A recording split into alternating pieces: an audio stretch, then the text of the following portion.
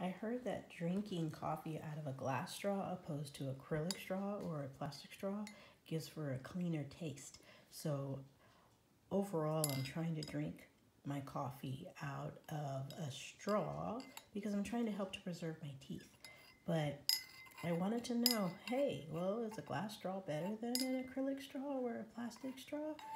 Let me see if the taste is any different. The anticipation of pulling something hot through a straw directly to my throat is uh, giving me anxiety. But here we go.